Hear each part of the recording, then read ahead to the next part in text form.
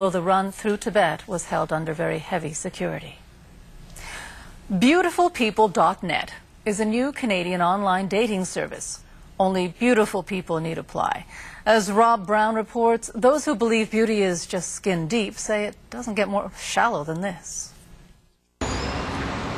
Vancouver's chic Robson Street, where the beautiful people of BC stop to shop. Just ask them. Do you consider yourself beautiful? Yes, I think. Yes, I do, I guess. That's the type beautifulpeople.net is targeting. It's a social networking site with a simple rule.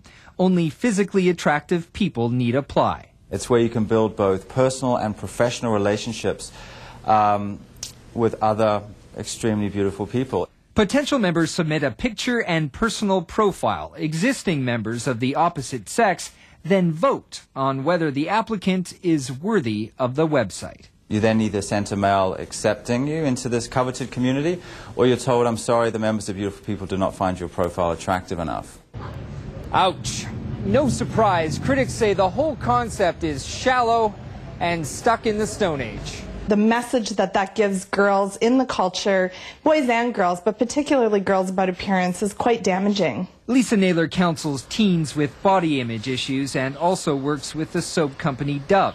She points to its current ad campaign emphasizing normal body images as a step in the right direction, calling the website a step backwards. There's not just beauty. Jacqueline Levitin teaches how women are portrayed in pop culture and says the site is just another example of how the women's movement hasn't made the gains it hoped to. So I don't think things have changed all that much. I think that we have uh, done a lot of backsliding.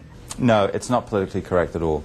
Greg Hodge is unapologetic, saying the site simply reflects society, and the company claims thousands of Canadians are already applying for membership. Rob Brown, CTV News, Vancouver. And we'll be right back.